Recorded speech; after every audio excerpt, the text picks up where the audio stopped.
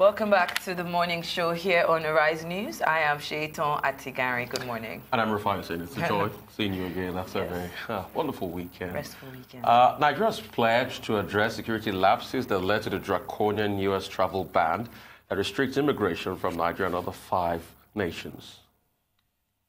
Besides Africa's most populous nation, the new measure also includes Myanmar, Eritrea, Kyrgyzstan, Sudan, and Tanzania.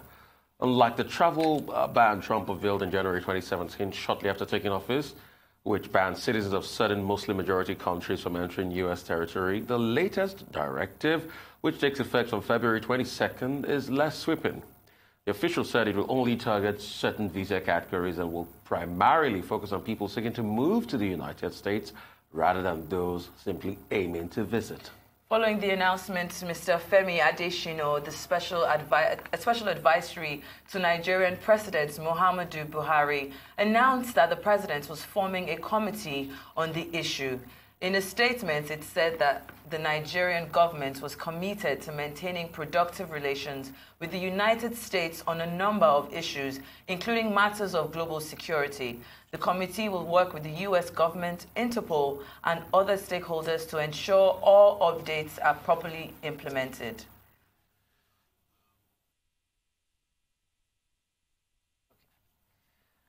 I mean, thi- this is this is really interesting, Rufai. You know, when I heard when I heard that Nigeria had been added to the list, and I saw the other countries on the list, I was in shock. Shocking. Shocking. I mean, somebody will, will think that at this point in time in our national life, uh, this shouldn't be happen- happening to Nigerians. But there are many arguments to it. Uh, number one, when you look at what the United States government is saying, they're saying we're increasingly having people that are come to, coming to stay in America and getting those visas. And, and for them too, it's a strain on basic services in their countries, a strain on their healthcare, a strain on the likes, because these people, they in turn get citizenship, and the government has to pretty much pay uh, for whatever these people use in America. And, and that's, let's not forget, uh, there are simply quotas everywhere in the world on what we call net migration. If we check the UK now currently, the UK is adopting the Australian method that is a point-based immigration system that it is based on the degree and qualification you have that you can come and you accumulate points and you get gather points. Mm-hmm. Don't get me wrong, migration is good, but there is something called quality migration.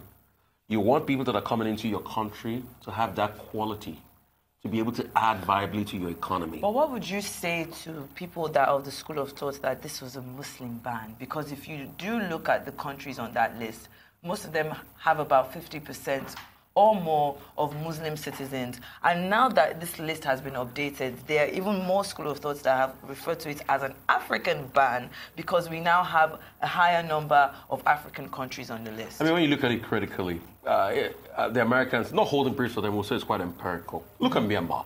Myanmar is largely Buddhist. That's, that's the country where Aung San Suu Kyi is from. Look at Kyrgyzstan.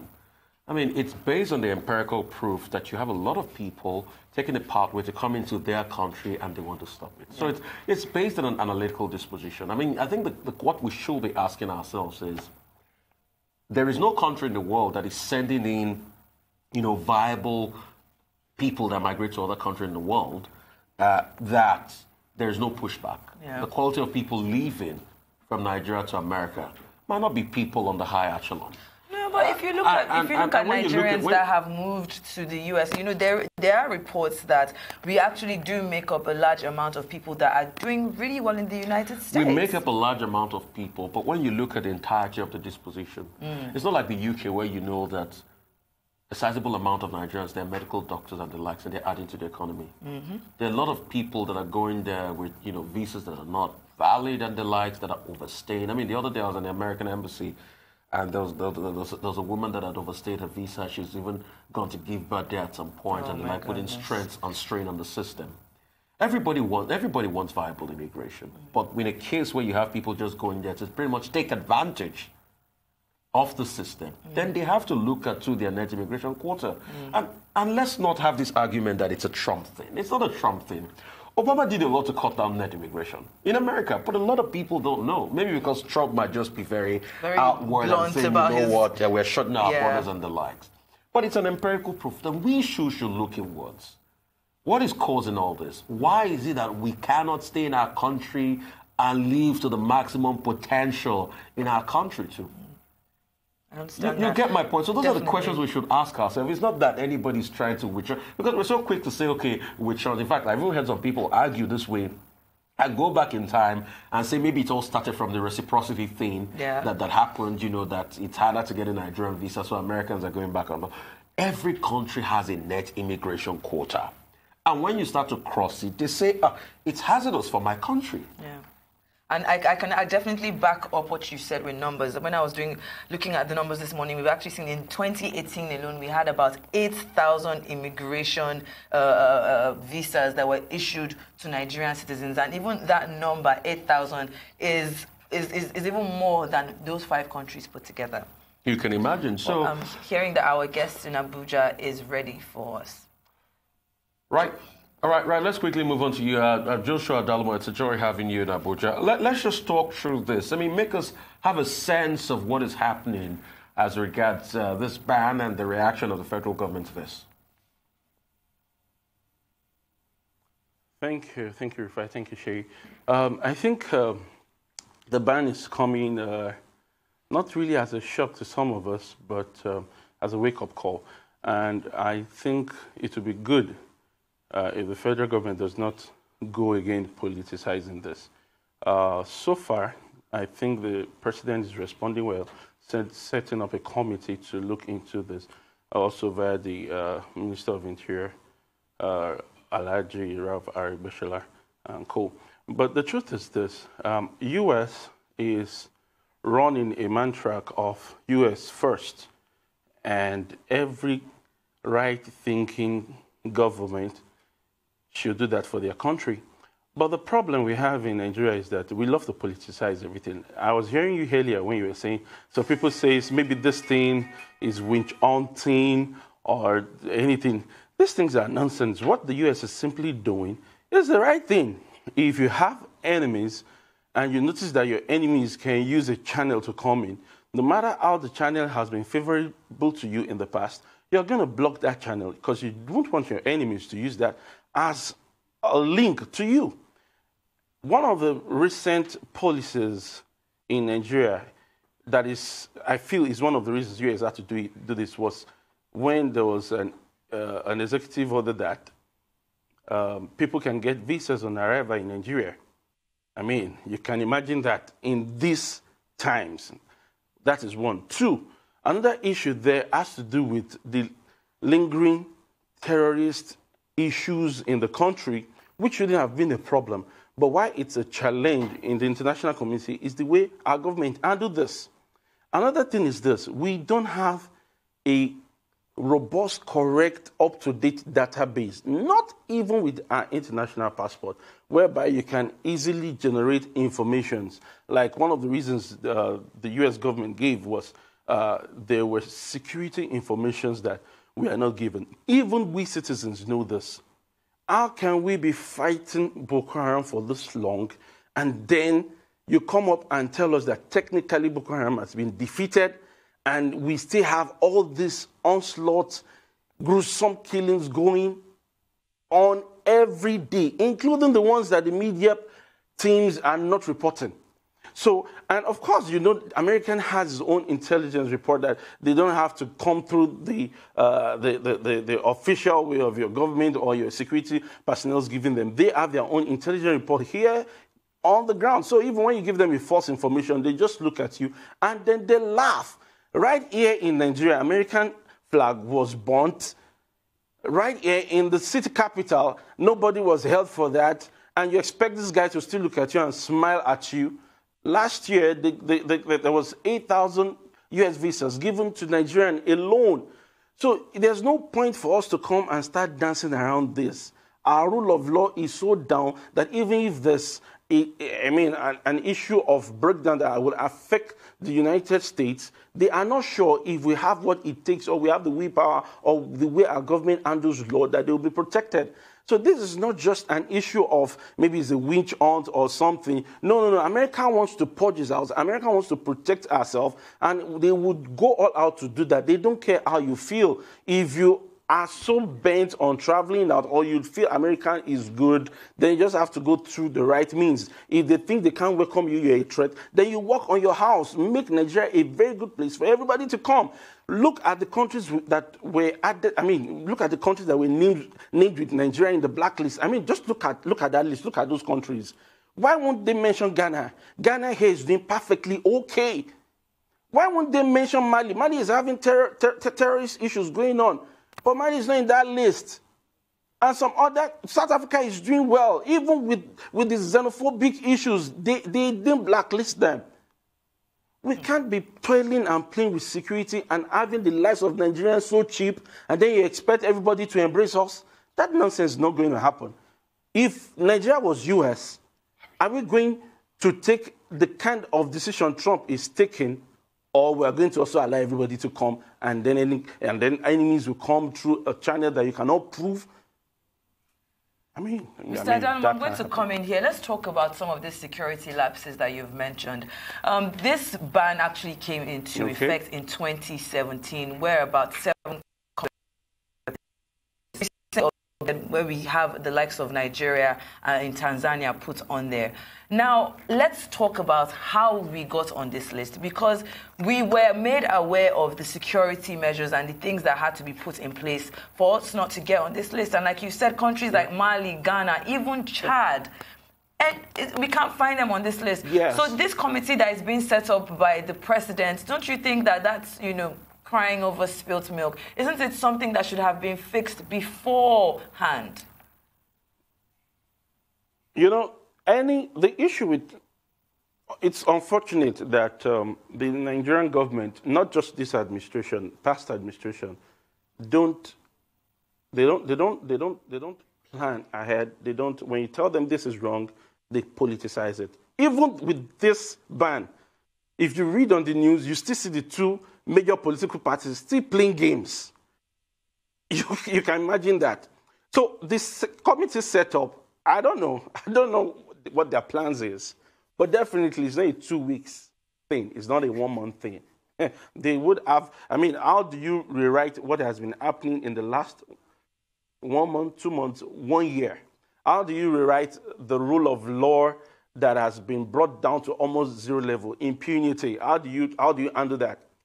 Now, killings are going on every day, and um, these things are put on air. And uh, I mean, the U.S. government, the international community are telling you this is wrong, this is right. This is right. Somebody will tell me that Sowore was released uh, just like that without involvement of U.S. government, which all of us know is not true.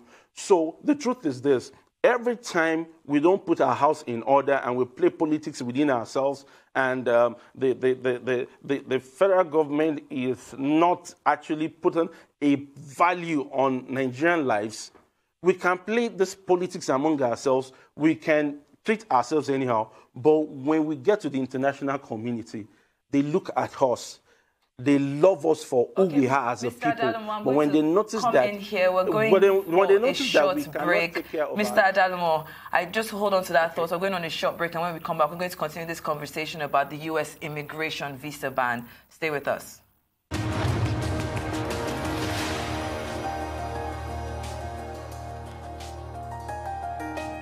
Welcome back to the morning show. Thank you for staying with us. We're still joined in our Abuja studios by Mr. Joshua Adalumo, a public affairs analyst, discussing the U.S. immigration visa ban. Now, we're talking about this committee that has been set up by President Muhammadu Buhari to look into this. And I'm curious to know how confident you are in the committee's efforts to take us off this list. Uh, or, thank you. I'm so confident about uh, the committee. Uh, the, the, the little I know about um, Alaji Rauf Aregbesola is somebody that is, is a very hardworking person. I know he's going to go all out to see that he can um, change this ban. And um, I, I think uh, so much will have to be done by them. Uh, one, uh, I mean, about the image of not just um, the country or um, or abiding by the new rules or giving the rightful information to the U.S. gov- government, but also trying as much as possible to pull the federal government on each those to make sure that the right things are done at the right time and, and the rule of law is abided by. I think, I think they're going to perform well, but I don't think it's going to be a fast or a quick thing. Uh, it's going to be, uh, this ban might linger on for a while. And then it's not really a total ban like, like, like, like, like it is if you, if you read through the, the, the, the, the, the ban. It's a, there's still room for uh, student visas, medical, uh, I mean, and tourist visas, but for immigrants, I mean, or residency, I don't, I don't think there's room for that. So it's not really a total ban. And as long as we meet up with, um, the committee is able to meet up with the, the, the, requirements from the United States government, I think it will be a win-win. All right. Uh, a part of the committee and what the committee will be deliberating are ways to be able to, you know, keep this in check. But a big elephant in the room will be you know, the point being raised by the American government of Nigeria's constantly overstaying visa threshold. I mean, is there a way out of that? Sorry, I didn't get that. Come again. I mean, the big elephant in the room in this conversation will be a point raised by the Americans that Nigerians are always overstaying the stipulated visa threshold. Is there a way out of that? Ah. there, there, there's only one way out, out of that, and that's when we all can make Nigeria a better place. The truth is this you will never see a good thing and a bad thing and go for the bad thing. Or better, let me put it this way you will never enjoy comfort and you want to go back to discomfort. So far for now, Nigeria is not all that comfortable for our citizens. An average Nigerian will tell you things are hard and Harvard Nigeria will tell you four years ago, and the reality on ground, they will tell you hope is not that uh, bright for so many of them. And so you see so many Nigerians trying to push in. Now, with this ban, this won't reduce Nigerians still trying to travel out. Canada is there. Some of them don't even care. They want to go to Ghana here and things. Imagine Ghana here sending Nigerians back to their countries, fighting them. South, um, South Africa here sending Nigerians back, and they want to be complaining about the US thing. So I think what, what can really happen is one, our image needs to change.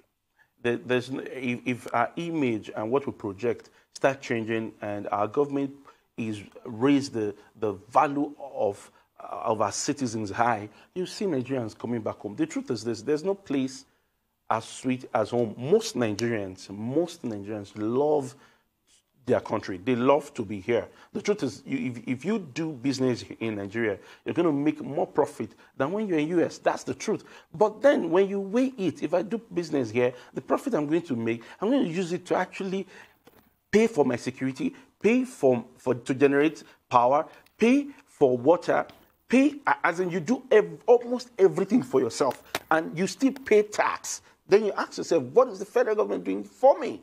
So the truth is, the federal government needs to put a high value on the lives of Nigerians. That is one. Two, the Nigerian government, after doing this, will have the boldness to have some sweet bilateral agreement with the United States that for every Nigerian that you see that is living above the stipulated time in your country, please deport them back.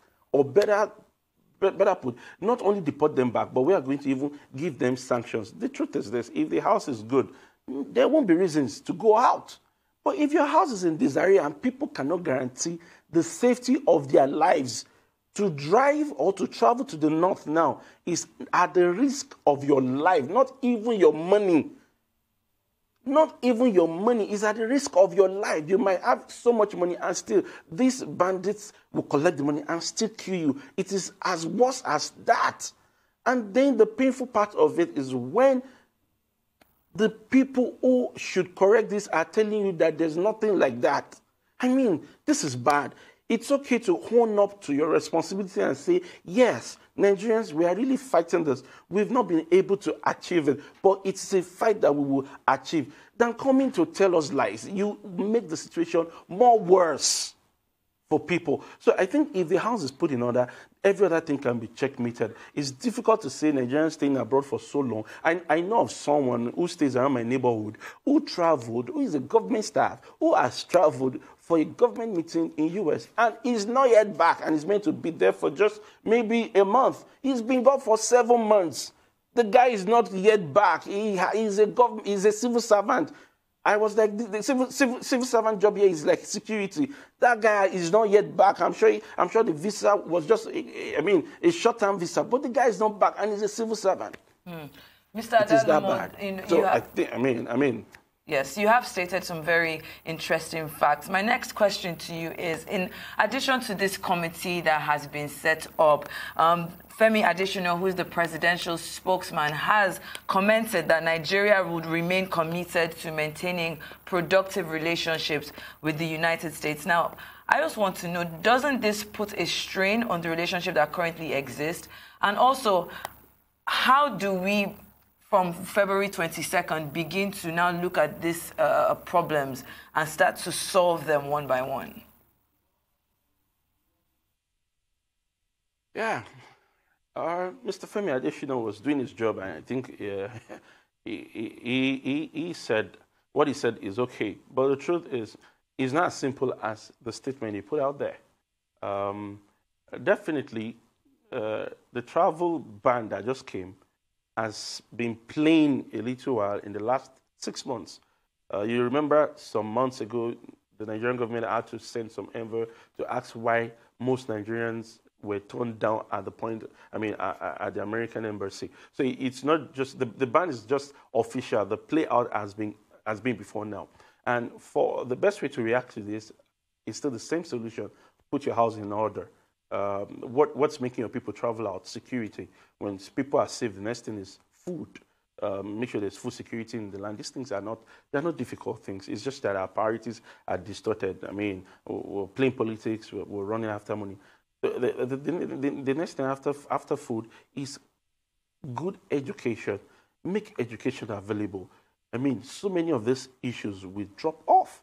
So the, the, the, the fact is for to, to, to, to, to, the, the, to stop that ban or to get the American uh, government to, to, to think or, or think back on that ban is not something that can be done now. Uh, everybody knows Donald Trump is not somebody that backs down on his actions. But if our government kind of work on the request, make security good, uh, uh, stabilize and, and put up a good database, uh, and then so that even if somebody does something wrong here, the police can track the person down via the bank, everything. For example, the Boko Haram guys, they, they, they, I'm sure it's not all money they get in cash. There are people goes to the bank for them to collect this thing.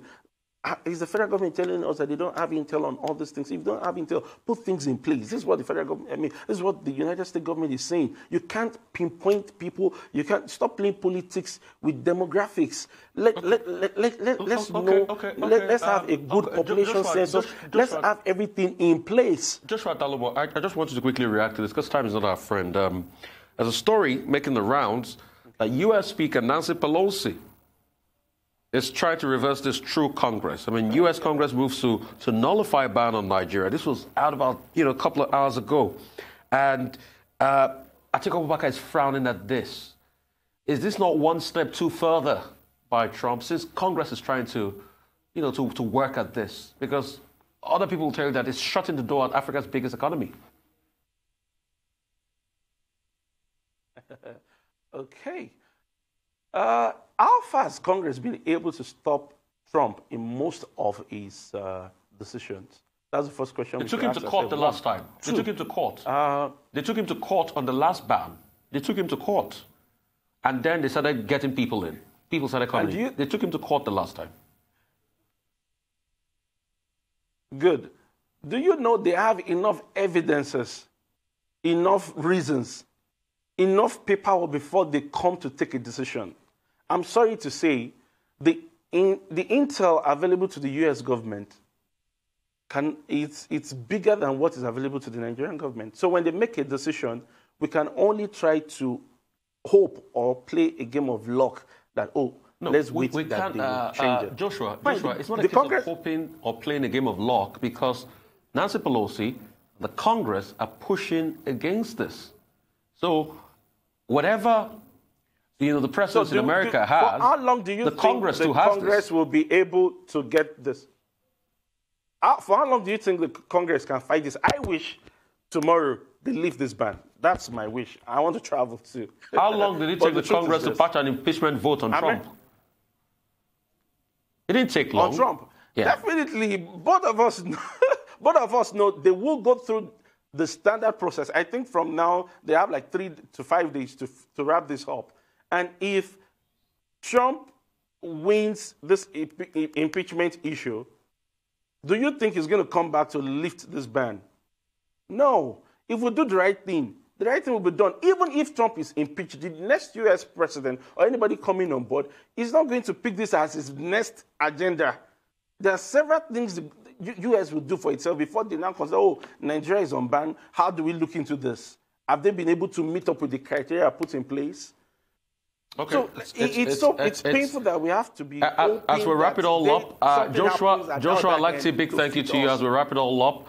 Uh, Joshua, thank you so much for your time, but I'd like to say it's not a complete ban, like you said.